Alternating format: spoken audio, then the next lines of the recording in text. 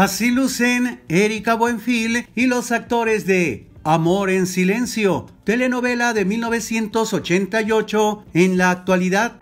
estupideces, ¿qué derecho va a tener una recochita de quién sabe quién? Te equivocas, yo sé muy bien quiénes son los padres de esa niña, te lo voy a decir. Amor en Silencio es una serie que contó con dos partes, la historia de Marisela y Fernando y la de Ana y Ángel. A 34 años de su estreno, así lucen los protagonistas.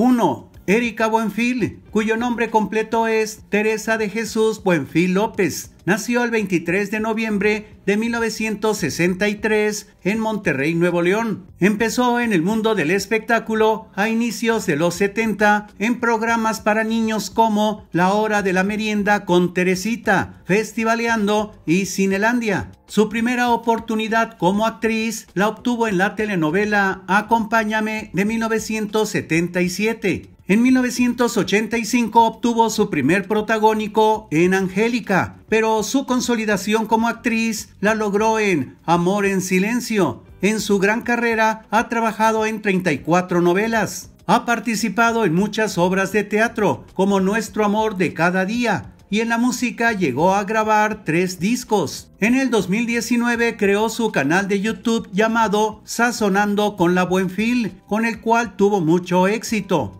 En el 2020 comenzó a subir videos a TikTok y en cuestión de días fue llamada la reina de TikTok, donde ya la siguen más de 12 millones de personas. Su última participación en telenovelas fue en el 2021 con Vencer el Pasado. En la actualidad, con casi 60 años, luce así.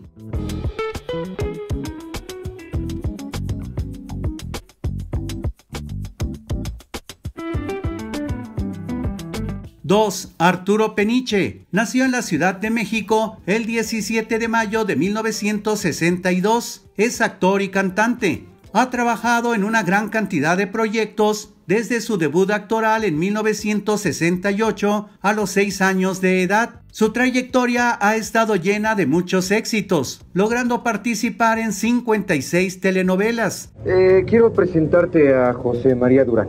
Es un gran amigo nuestro.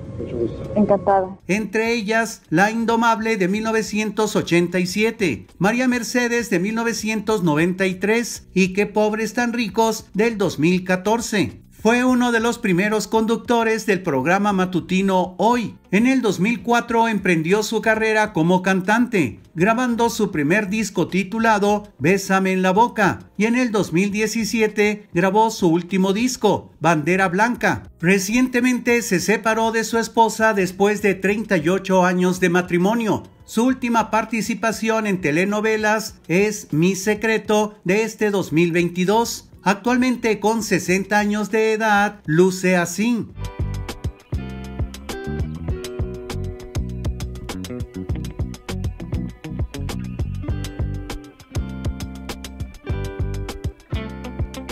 Tres, Omar Fierro. Nació en la Ciudad de México el 10 de octubre de 1963. Es actor, director, productor y conductor. Además dice que le encanta la cocina. Inició su carrera artística siendo modelo de comerciales. Ha participado en una gran cantidad de telenovelas. En muchas de ellas tuvo la oportunidad de protagonizarlas. En el 2016 estrenó en TV Azteca ¿Qué hay de comer? programa que en sus inicios tuvo buenos niveles de audiencia pero fue decayendo, saliendo del aire pocos meses después. Pero gracias a este programa, Omar Fierro pudo sacar un libro y sus propios utensilios. Su última participación en las telenovelas fue en Mi fortuna es amarte de marzo del 2021. Actualmente con 59 años de edad, luce así.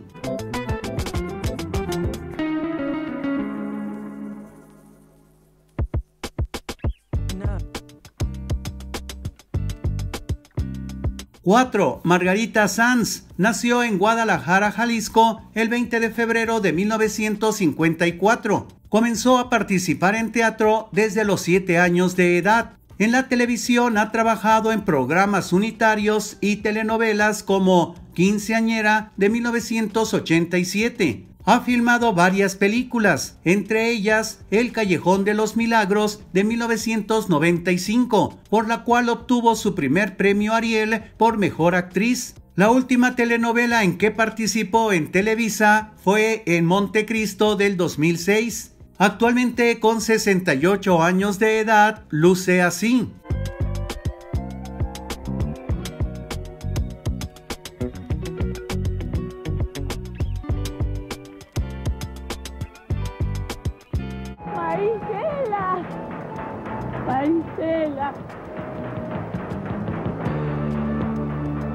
Y 5. Elvira Monsel. Nació el 24 de noviembre de 1960. Es una actriz mexicana que incursionó en la televisión y el doblaje de voz. Empezó su carrera artística en 1977 en la telenovela Humillados y Ofendidos. Desde entonces ha participado en varias telenovelas, destacándose como villana, sobre todo en La Indomable de 1987 y por supuesto en Amor en Silencio. Durante su etapa como actriz de doblaje en los años 80 y 90, Elvira trabajó únicamente para Procineas SCL, la cooperativa, dando voz a distintas actrices. Actualmente está retirada del doblaje. Su última participación en la pantalla chica fue en la telenovela Desaparecida del 2020. En la actualidad, con 61 años de edad, luce así.